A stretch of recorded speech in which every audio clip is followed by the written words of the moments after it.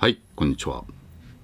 今回はマルシン工業のモデルガンコルト25オートヘビーウェイトマットブラックモデルダミーカート仕様をご紹介したいと思います。まあ最近ね、えー、特に私また小型拳銃に目覚めておりましてもうね結構引っ張り出す機会が多いんですけれどもこれはね、えー、久々に見るモデルなんですよ。私のうちでは。でパッケージはこういうパッケージに入っていた時代のものです。ね。こういう感じですね。でここにね、えー、コルト社認定も公認モデルって書いてあるんですよね。で申し訳ありません。私勉強不足で公認モデルの意味がよくわからないんですけれども。出してもいいよって言ったのかあるいはもうそっくりにね刻印とか使っていいよって言ってるのかね。このどの辺まで公認されてるのかというのはよく分かりませんけれどもこういうのが表記されてきたモデルです。ですから比較的私の時間軸では最近と多分10年でもこの箱のやれ具合と発掘できた場所を考えると随分古いのかなって気もします。でパッケージはこういうね中にもちろんこういうのに入ってきてね。でダミーカートがついてきます。ダミーカート仕様ですんで。でこのねダミーカートがなかなかね貴重でね私にとっては価値ありと、はい、特にね後ろに刻印とかそんなものはないんですけれどもね。でまたあのセンターファイヤーでねファイアリングピンで打つわけでもないんでここも別に引っ込んだりとかそういうことはしません。あれ？してる？ちょっと待ってください。確認しましょう。あ動きませんねやっぱりね。爪がたわんでいたのがスプリングと思ってしまいました。申し訳ございません。ねブレッドのところもなんか可愛らしい感じでね、はい、で取説は、えーと、共用のね、えー、完成品の取説ですね。この255ともねキットモデルでねお値段もリーズナブルだったんでもう私もかなり買いましたし、えー、ご覧いただいている皆さんの中にもね俺も何丁も組んだよって方がね絶対にいらっしゃると思います。で、えー、これに対して差分のね今回のこのダミカモデル専用の差分のマニュアルはこういう感じです。はいまあ、ですからプラグファイヤーカートリッジなんか使えませんよって書いてあるのとあと見てください。このねバレルの中にスプリングが仕込んであってねで、えー、ここをねファイアリングプレートエキストラクター付きが打った時にその力をね受け止めてくれるような構造になっているということですね。で本当にここがねピコピコ動くかどうかはね今日最後にね確認したいなと思っております。で、まあ、これは国際のねコルトポケットで賑やかしと大きさ比較ですね。でこれがね以前ご紹介したと思うんですけれども、えー、発火モデルですね。こっちはね。はい。はい。こんな感じで。で木ぐりをつけてあると。もしかしたら単体紹介はしてないかもしれません。でこれがマットブラックヘビーウェイトということで外観をまず見ていただきましょう。コルト社公認モデルですから。パッと見ねインサートが入ってますんでモデルガンと。分かる人はすぐ分かると、はい、で、えー、刻印はこういう感じですね。あどうなんだろうな。でもこっちも入ってるような。これね箱がどっか行っちゃってるんで公認モデルかどうかわからないんですけれどまあこんな感じですね。反対側はこういう感じです。誠可愛いですね。誠あんまり私の手なんか映らない方がいいな。でマガジンキャッチボタンと。背面はこんな感じと。ねガタガタはないです、まあ、モデルガンですからね多少あってもいいし特にこれダミーカートモデルですから。正直もう作動はあんまりね気にしてませんので。でねパーティングラインは消されていますね。丁寧にね処理されています。はい。でマガジンの背面に来てこちらの背面もちょっとうっすら残ってるかな、まあ、消し消してやろうっていう気持ちは見えるんですけれども残念ながら少しうっすら残っていると、はい。まあ、特にメッキとかされていませんのでね気になる方はご自身でさらに仕上げるということもありかもしれませんでこんなちっちゃい銃なんでね、えー、撃つことも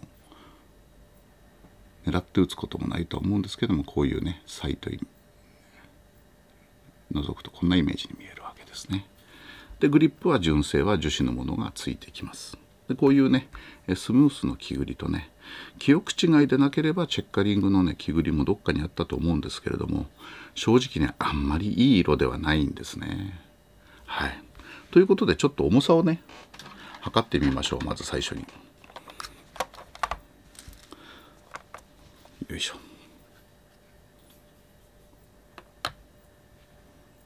249g 微妙ですね。この重さで 249g をどう見るかというね大きさでね。こいつはあ同じぐらいですね230でこれはねシルバーは ABS のはずなんでもう167ですね。もうなんか愛しいですよねここまで軽いとね。はい。ね。なかなかねこれを手にねしっかりねホールドして打つっていうのはね私の手でもちょっと難しそうですね。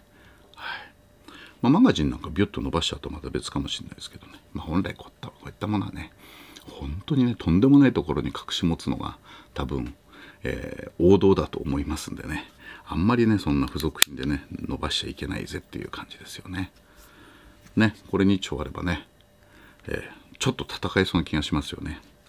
一発の弾は小さくてもね2発当てればみたいな、はいまあ、あんまり物騒なこと考えちゃいけませんね。エキストラクターはねこうよくできてますけれどもここモールドですね。はい終盤で分解しますんでその時に構造はお目にかけられると思います。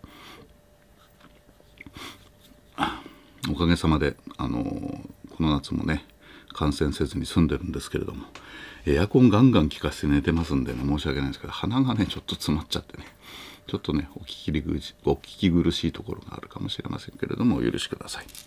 で今日はねあの特に火薬も使えませんので乾杯。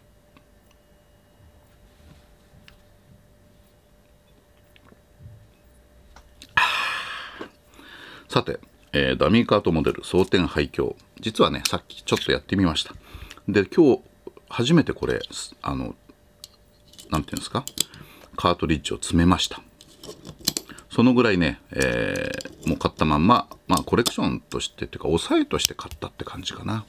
買わないと、買っとかないとなくなっちゃうっていうことで、購入したモデルだと思います。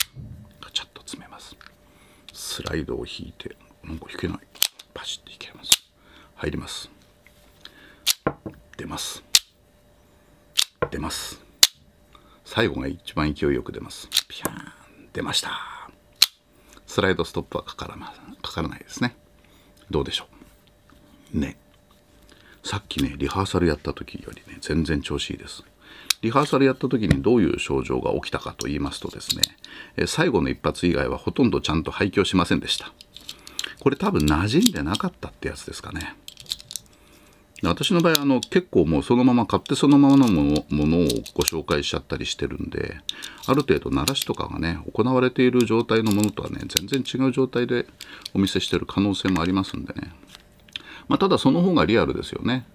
流通在庫買いましたと開けましたとやってみましたっていうのと多分同じ状態が再現できてるのかなと思います。そういった意味ではこれはもう新品ですよ。完全に。もうはい。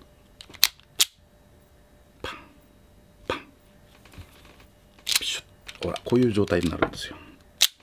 ね。こっちで弾けばいいのか。弾くか 手によってあでもそういうこと？本当？ははい。あららら。こういうふうになるんですね。ほら。ね。だけど最後の一発は綺麗に出ますよ。ほら。って感じです。こっちがね私の中ではリアル。最初にやった方はねもうたまたまうまくいっちゃったって感じですね。でこっちから弾くととこっちから弾くのところで見てるとスライド少したわむんで関係あるのかな？ねえ。でねやるとやっぱりねダミカワのねお尻に少し傷つきます。ですからあの大切にコレクションされてる方はねあのご判断自分でお願いします。お尻傷ついてもいいよっていうことでしたらねカートのガンガンね遊んでいただくのも面白いかもしれません。さっき3発でうまくいきましたよね。なんかそんなのもあるのかな？く時にポンポンポン。ほんと引くのが軽いな。おあ分かったぞ。なんとなく分かったぞ。はいはいはいはい。あのうまくこう引きながらねエジェクターに当てるっていうのが大事みたいですね。またそんなねくだらないこと言ったら怒られちゃいますね。結構ねおかげさまでね私にとってはもう全然予想外のね、えー、いっぱいの皆さんがね登録していただいたり毎日見ていただけていただけるんでねちゃんとしたなるべく動画を撮らなきゃいけないなっていう責任感がね芽生えている今日この頃なんですけれどもね。ということで最後にもう一回だけやって分解に入っちゃいましょう。で分解をね最後に持ってきたのは当然ね、えー、組み上がんなくなった時にそのままさよならできるよということです。はい。あそうですね。こいつをね親指をちょっとこっちにひねるようにして出すとものすごく調子いいですね。多分エジェクターに当たる位置の問題だと思います。ということで頑張ってくれましたんで。ね分解して皆さんにね自慢の機構をお見せしましょう。まずね、えー、スライドを引いてね。スライドストップかかりませんからここのねノッチのところにね合わせてこのスライドストップをねこうかけるわけですね。カチャッとかかります。でマガジンは抜きます、抜いておきます。でその状態で、えー、バレルをねこっちだったかな。この辺まで回すんですね。見てください。このこの辺まで。ね。こんな角度。そうするとあら不思議とスルッと抜けるということです。でこれリコイルスプリングガイド非常にこれいいですよね。このサイズだからねこの小さいスプリングだったらくちゃってなっちゃいますもんね。このリコイルスプリングガイド付きのリコイルスプリングはね。非常にねいいかなと思います。でさっき言ったほらエジェクターの位置。ここにねうまくねカートのお尻を当ててやるとはそうあの廃墟がねスムーズにいくかなというところですね。でこいつはねさっきもそうだったんですけどこうペレッと出てきちゃいますんでね。あのなくさないように注意ですね。ということで今日はね最悪を考えたこのドイツ製のねはいあのえー、なんて言いましたっけ？ルーペ。なんか映ってる顔。ね。こんなのをね、えー、持ってきました。さてじゃあその自慢のねでバレルはねこうひねるとねこうやって出てきます。はい。じゃあフレームと綺麗にね並べたりしてねよくこういうのね海外のサイトで綺麗に並べてる方いらっしゃいますよね。おおとか思っちゃいますけれどもね。でね先ほど申し上げた通り、えー、エキストラクターはモールドですっていうのは実際はこのファイアリングプレートでねこう引っかかるわけですね。このシビアな、ね、クリアランス。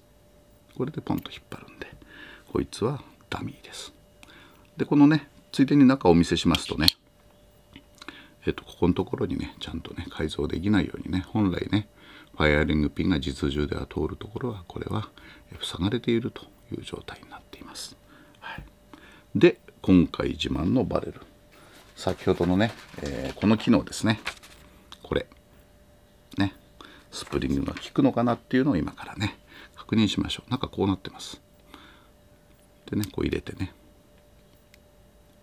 ピコピコピコねちゃんと、ね、スプリングが効いてますねということでこうやって離すとピョンってあ飛ばないかピョンってこんな感じでね飛びますねということでスプリングがねピョンぴょんと、ああ、いっちゃった。